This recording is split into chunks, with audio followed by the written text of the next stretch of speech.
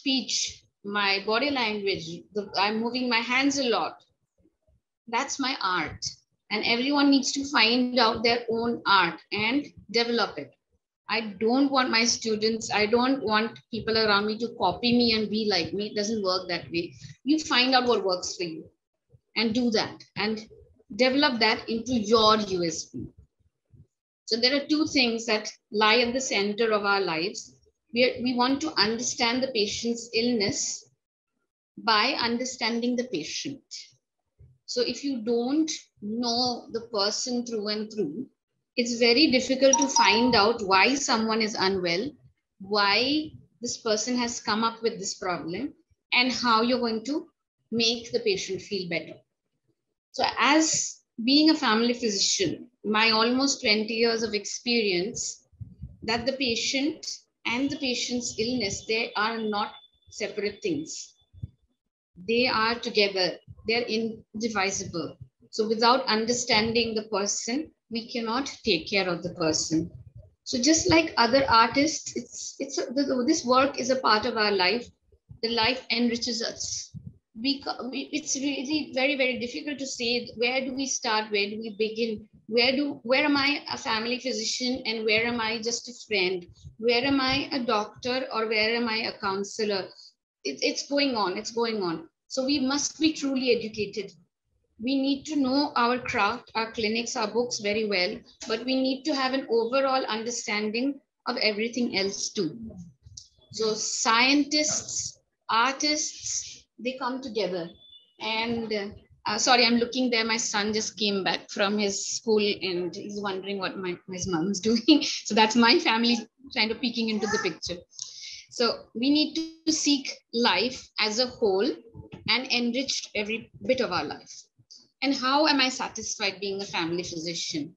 So Sir William Osler, he, I believe he was the greatest clinician ever, said that the good physician treats the disease, the great physician treats the patient who has the disease. So I just said that as a whole, not the disease, not the illness, not the organ, we are going to treat the person who has come to us. We have the privilege of knowing the patients and building these relationships. That's where we come in. That's where our network, our database, everything works. So it's the only specialty that allows us to treat everyone in the family, all the generations, the baby who's just born, the baby's mother, the baby's grandmother, the baby's great grandmother. I I'm able to treat all of them with my knowledge in geriatrics, with my knowledge in pediatrics that I get from family medicine and everything in between. I should be able to look after everyone and help everyone get the right care, the correct care, and treat them.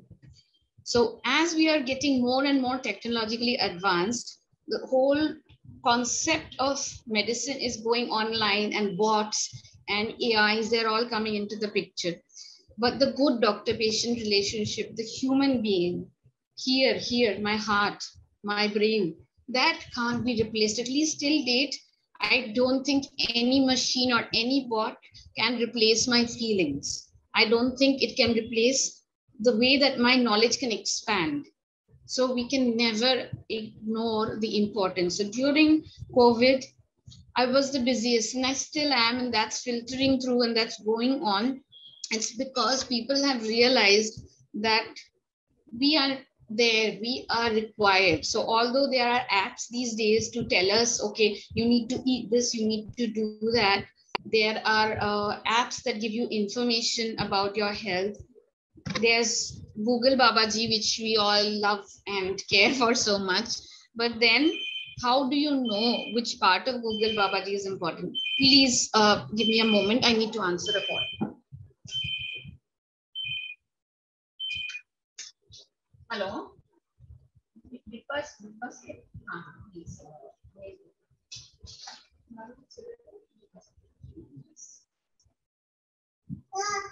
So, yes, I'm back. Sorry, my family is coming in, which they should. Our family should always be a part of our life. So, how are we relevant? We have engaged strongly with the pandemic, especially by building networks, networks locally with our national groups, with our international groups, with all the memberships and fellowships that we have, we have been together. We have been working and helping out everyone. We have built networks with WONCA. We've had webinars to address COVID-19. We have worked closely with WHO and we are still doing that. So we have taken on the challenge of caring for everyone with chronic diseases through telemedicine, home delivery, whatnot. We've done everything possible. So everyone else in our team has been engaged with restructuring health services some of our doctors have uh, built up field hospitals out of nothing. They have changed convention centers into COVID care centers. And this pandemic has taught us how important the primary care physician is. Without the primary care physicians, the specialists, the super specialists, they don't know what to do. There was a time when I was working 24 7 and my friends who are specialists in their own fields. They were calling me up and asking me, okay, how come you're so busy? I don't have any patients right now. What do I do? So we, we wrote them in. We told them for a few months, for a few uh, days, become a family physician because they all have MBBS. They can do it. We'll train each other. We'll work together. And where you are needed. So the gynecologist friend of mine, she calls me up. So I tell her, okay, remember your MBBS days and I'll train you a little bit more and we'll work together and then when a pregnant lady comes to me with COVID, you take over everything else. So that's how we work together so beautifully. So I'm going to try and conclude now. In my opinion, it's one of the hardest specializations.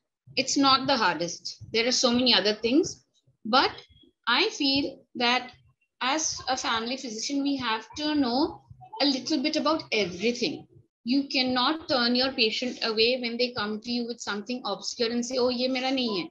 You go to so and so. You can tell your patient, okay, this is a little rare or something little new to me. I will look this up and we'll discuss this down the line. But basically, it's you have to keep yourself updated all the time. So it's so much research oriented. It's so important. It's not easy to differentiate a viral illness from a sepsis, a tension headache from a brain tumor, or a panic attack from a heart attack. So that's where, again, we are so important. We can't ignore a patient, one. we can't ignore a patient, but then at the same time, we can't overuse resources that are important for other things and try to send everyone for a CT scan and MRI and then the person who actually needed it doesn't get it. So the rigorous training that we get, the certifications that we do, the CPDs, the continuing professional development that we do as an organization, as an individual, and the reflective practice. So the I, I saw many patients today. I'm going to sit in the evening and, and write down who all I saw, and then later on think, what did I do? Could I do, have done anything different? Do I need to call this patient back? Do I need to send an email to this patient and tell him that, okay, we need a follow up or you need to read up on this? So this is what I do. This is how I work. And there's peer review. There are times when we put messages on our community society groups, on AFPI groups, on WONCA groups, and ask them that, so I've seen this, I've done this. Do you think we should have done otherwise? And that's how we continuously improve our quality of care. So a skilled family physician can understand ideas, concerns, and expectations. That's ICE. We can understand what the patient is thinking. What is he worried about? And what does he or she expect from us? And that's how we can deal with the uncertainty of medicine with Elan because medical science is uncertain. Everything develops, everything changes. Things that we read 20 years back in our books, there some of them are obsolete. Some of the things that my father read is coming back. So these things we need to keep on updating ourselves, keep on being aware, keep on talking with juniors, with seniors, not feel that we are better. We no one is better than anyone. Everyone is unique in any field that you are. So thank you.